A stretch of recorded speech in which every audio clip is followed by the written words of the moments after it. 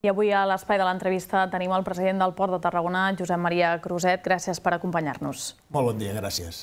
En primer lloc, li hem de preguntar quina ha sigut l'afectació que ha tingut el port si parlem de tràfic de mercaderies de la Covid. De fet, fa uns mesos parlava que el primer semestre s'havia reduït un 25% aquest tràfic, però n'atribuïa només el 18% a causes Covid. En quin moment ens trobem ara?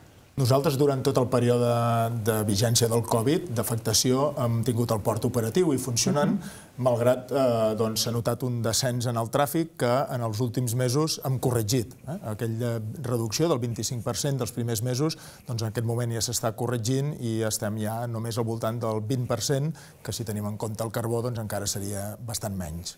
En aquest sentit, quins són els principals uh, tràfics, les mercaderies en les quals segueixen apostant i que entenem que poden seguir anant a l'alça? Sí, eh, tenim uns tràfics estructurals, tot aquell eh, producte vinculat al sector petroquímic, tant d'entrada com de sortida.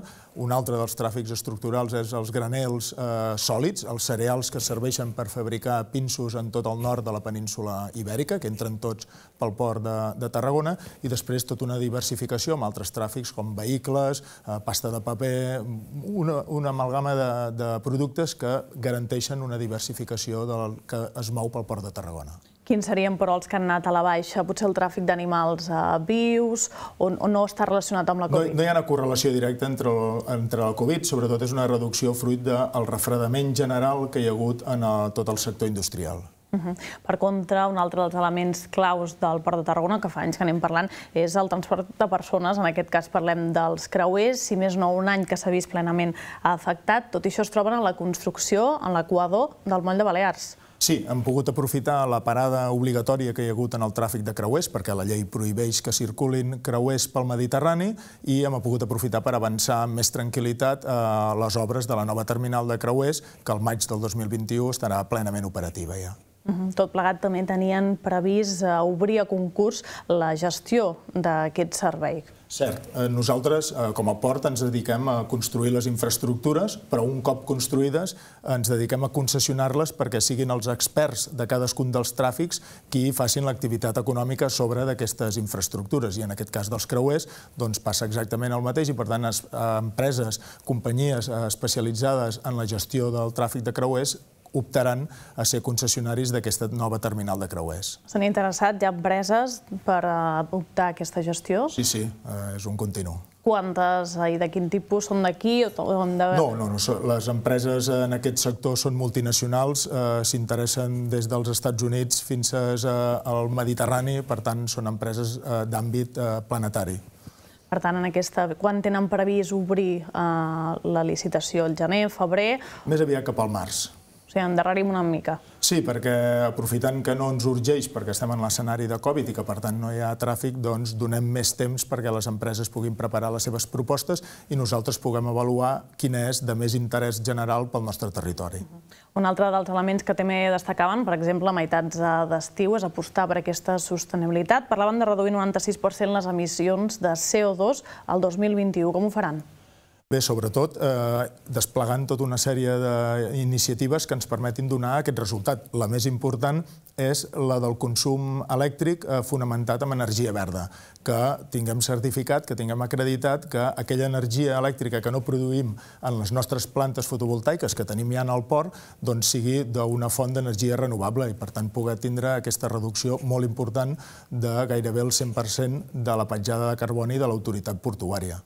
A tot això fa anys, anys enrere, que es plantejaven opcions com una plataforma eòlica marina, no? portar aquests molins de vent a prop del mar, a la costa tarragonina. És una opció que es troba sobre la taula ara mateix? Nosaltres no l'estem estudiant allò a la curta distància, però és evident que, per sort, la nostra societat ha canviat molt i entén que el desenvolupament econòmic ha d'anar sempre associat del desenvolupament sostenible. I, per tant, tot allò que ajudi a la sostenibilitat està en el radar del Port de Tarragona i si en algun moment és compatible compatible l'energia eòlica en el, en el nostre frontal marí, tinguem present que això es col·loca fora de l'horitzó, per entendre'ns, des, del, des de la costa no es visualitza, no, no, no, es veu, no es veu, està a prou distància, doncs ho estudiaríem, però a dia d'avui no està a sobre de la taula. Ho veuria viable, però, en el cas de que... És necessari que tècnicament sigui, sigui compatible, perquè no és només col·locar-lo, sinó que després l'eficiència de transportar l'energia fins, a, fins a la costa doncs ha de ser possible i ha de donar els rendiments necessaris perquè la inversió surti, surti a compte i a dia d'avui no està molt desplegat aquesta tecnologia a nivell, a nivell mundial. Si parlem de posar la mirada, al Port de Tarragona també fa temps que treballa en les ales o activitats logístiques. En quin punt es troben ara mateix? Doncs estem acabant els projectes d'urbanització. En les pròximes setmanes iniciarem el procés per seleccionar les empreses que han de fer les obres i, per tant, en el primer trimestre de l'any vinent poder estar ja amb obres a sobre del terreny. En aquestes obres també entenem que pot haver augmentat l'interès de companyies eh, estrangeres, internacionals, per instal·lar-se en aquest espai? És, eh, la zona d'activitat logística té un actiu molt potent, que és que en el, en el Camp de Tarragona i tot el seu potencial de connexió, d'infraestructures que, que tenim, i la connexió també amb el port, amb la sortida marítima cap arreu del món, doncs no hi ha espais tan grans com la zona d'activitats logístiques, i per tant aquest milió de metres quadrats per poder-s'hi implantar a empreses que vulguin arrelar en el nostre territori, doncs és un actiu molt potent i està molt ben estudiat per moltes empreses que estem mantenint contactes per veure quin és eh, l'encaix entre la nostra oferta de la infraestructura i el que necessiten aquestes empreses. Creu que la situació de pandèmia pot tirar enrere alguna d'aquestes eh, voluntats? La situació de pandèmia jo crec que, que genera grans danys i molt de patiment que no podem perdre de vista, però eh, també obre oportunitats per sectors que abans no estaven tan a primera línia, comerç electrònic, eh, determinats tràfics de productes que amb la pandèmia doncs, han reeixit i han guanyat múscul i per tant doncs, també s'obren noves oportunitats. Des del punt de vista de l'interès comercial, nosaltres no hem detectat que hagi decaigut l'interès per la zona d'activitats logístiques. Uh -huh. Per tant, entenc que buscaran aquests sectors, que el Port de Tarragona hi anirà darrere? Nosaltres llançarem el concurs, eh, les empreses que hi tinguin interès faran la seva oferta i llavors nosaltres, eh, com fa tota administració pública, vetllant per, per l'interès general, seleccionarem els millors candidats per poder-se implantar. No només els que aportin més tràfic marítim, sinó que, a més a més, generin més ocupació i generin més riquesa pel, pel territori. Uh -huh. A tot això també li hem de preguntar per aquest Museu del Port, aquests 150 uh -huh. anys. Entenem que estan ja al final d'aquesta celebració.